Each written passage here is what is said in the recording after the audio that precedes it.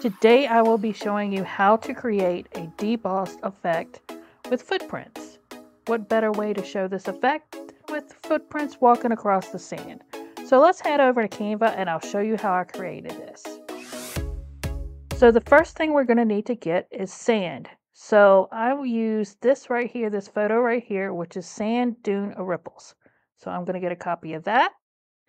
And then I found these footprints but our illustration of footprints, and I need a copy of those. So the first thing I'm going to do is I'm going to take this and set it to the background. Maybe we're, hey, hey, it's not scrolling. Oh, wait, wait a minute, because I got it on feet. I'm so goofy. Y'all, y'all need to set me straight sometimes. All right, here we go. Now we got this. So what I want to do is figure out what size I want my foot footprints to be. So what I'm going to do is kind of size them down. I think that's a good size footprint there. So now I got my size. What I'm going to do is I'm going to duplicate these. And what I'm going to do is I'm going to crop my feet. So I have one individual foot on each one. So I'm going to crop and I got my left foot and now I'm going to get my right foot and crop that. All right, so now I have two feet I can use to walk. So now I want to put my feet where I want them to go. And you want to put a, and here, this is going to be the little trick, and you'll see in a little bit when we get to the next part why you want to get your spacing a certain way. But you're going to put your feet like so. Oh, I don't want that foot. I don't want that foot. I don't want that foot. All right, so let's duplicate this one and we're going to bring this one up here. So here's my feet. And maybe if you're doing something, you could put a little saying on the side, but we're just going to do the feet for now. And now I got my feet where I want them to be. What I'm going to do is I'm going to go into File, Download. Since this is a video, I'm going to go up here, put this to PNG. I am going to download it. And then once it's downloaded, I'm going to head over to Remove BG. Now that I'm in Remove BG, what I'm going to do now is I am going to take this, I'm going to take my download, and I'm going to put it in here. So it's going to remove the background. That's not what we want to do. We want to restore the background. We're making a mask. So what I want to do is go into Erase and Restore, and if you have Canva Pro, you should be able to do this in Canva Pro. But since I don't, I'm a free user, so I'm going to use Remove BG. So I'm going to go in here and I am going to restore my whole background. I'm going to restore the whole picture, just make it all green and beautiful like so. And then when everything's restored, you want to go to erase and you're going to erase your feet. So what I'm going to do is I'm going to grab this one, make sure I get that toe. I'm going to grab this one, This one. Oh, did it get the toe? Did it not get the toe? Oh, I got the toe. Yay. All right, and this one.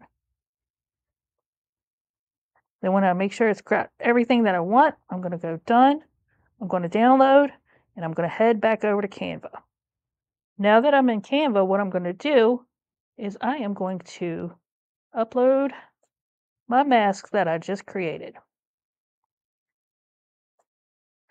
I'm going to put it on top right here. What I want to do is go back into my elements and I want to grab the photo. Now here's where the fun begins. You want to line this photo up.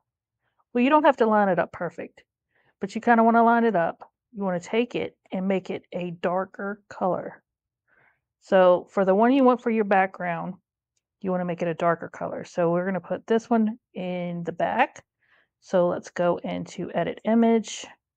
Let's take the trans, uh, not the transparency, the brightness down, make it darker. And then we're going to blur it. Because as my boyfriend said when I first did this, he said, you don't need, the, when you depress the sand, the lines aren't going to be in there. You got to get rid of the lines. So I said, let me do the blur to kind of blur it out to look like it depressed. So that's the one you're going to want in the back. So we're going to take it in position. We're going to go into layers. We're going to put it underneath. So that's your back. Now what we want to do is play with this. So I'm going to go and edit image. I am in the old editor. If you don't know how to go in the old editor, when you're in the new editor, you can go all the way down to the bottom. There will be a blue box right here. It'll say switch to the old editor. That's how you get to the old editor if you're in the new one. And the reason why is because you're going to have to make um, multiple shadows and you can do that in the old editor, but not in the new one. So I'm going to go into the drop shadow. And what I want to do is hit these three bars here. So I want shadows on the right and the left. So I'm going to go up in here and I'm going to go right. And then I don't want my offsets to be that deep in there. I just want it on the sides. So we're going to change our offset just a little hair that way. And then you'll have that side. And if you want to, you can adjust the blur if you want. If you want to, just get in here and play around it until you find it the way you like it. But this is what you're going to play with. So I'm going to apply that there. And then when that takes, you'll see this disappear. So don't mess with it till this disappears. Now see it's disappeared. What we're going to do now is do it again. So I'm going to go to the drop. I did the right. So I'm going to go in here and I'm going to look for left. I'm going to do the same thing, but I want my offset to be tight. What I'm going to do is I'm going to take the transparency down on it too because I want it a little bit lighter than what it is on the other side. And I'm going to take my blur up a little bit. So let's see if it'll let me see it, move it and see it better. I think I want my offset moved more too. There we go. Just a little bit. So that's how we want those. All right. And when you get it the way you like it, if you want to shade it different, like turn it a little bit gray, maybe check it out with like a little white to kind of make it kind of indent some. You can do that. Put a little white in there. Just play around and find how you really want that indent to look. But that's how you do it. The old editor, I love the old editor. I don't, hopefully it never goes away. So I'm going to push apply on that. Make sure these are gone. And that's how you know it's take it took and it's ready to go. Now, I have my imprints that I want. I'm going to make this bigger to cover the whole shebang. Then I'm going to go back in here and grab a few of these. Now here's the fun part. You got to try to line these up because if you do flat sand or a solid color, you're not going to have this problem because it's solid but because I have a image like the sand and the lines, when I start moving that for the animation, see how you can see that line here? So the so lining it up is going to be your fun part with this. So I'm going to go to the top and see if that makes it better. Still see that line. Let's see. Scooch it bigger, just a hair, and let's see if that looks better. Yes. I think it could go just a scooch more. There we go. And now that I've got that lined up like that, what I want to do is make sure that I have one here, and then I need to duplicate this, line it up on top of that one, hopefully.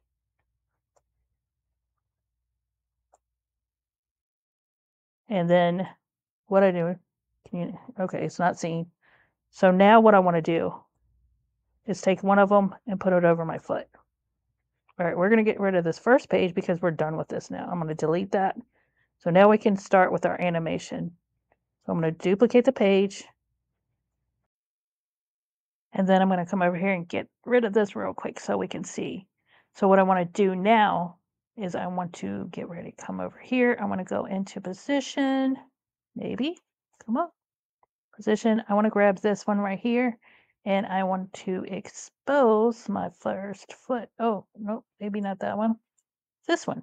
And expose my first foot. And then I'm going to go and duplicate the page. I am going to expose my second foot. So this is why you need two of them and you need your spacing good because you want to be able to move these along to see your footprints. All right, I see a little bit of that toe knocked off there. And then I'm going to duplicate the page again. And I am going to come over and expose this foot here. And then I'm going to duplicate the page. And we're going to expose the last foot. Let's see how far we got to go up with that one. And go over. And there's my last foot. So now that we have that done, what I want to go in here into my transitions, go to match and move, and you know me, I'm going to turn it all the way up at first. I'm going to apply between all pages. I want to shrink these pages down to, let's do, let's start off at 2. So if I put 1.5, it'll probably put 1.9. Knowing it, see, 1.5 goes to 2. Sharker. Okay. Still at 2.2. 1. 0.5. I would like a 1.8, 1.6. Oh, we got that. All right, so let's look and see what we got now. So let's look. And I got one, two, three, four. And that's how we do our little feet walking through the sand. I wanted to try to do like some hearts or something underneath with little sayings for Valentine's Day. That might be another pet project that I try, but this is just was my first attempt to try to do because I wanted to look like feet actually going into the sand. So yeah, so that was my attempt in making impression footprints into the sand just to spike up, you know, people put stuff with little feet prints walking and stuff like that. I just wanted to spice spice it up a little bit and this is my interpretation. So I thank you guys for stopping by. I love you all. I will see you on the next one. Bye y'all.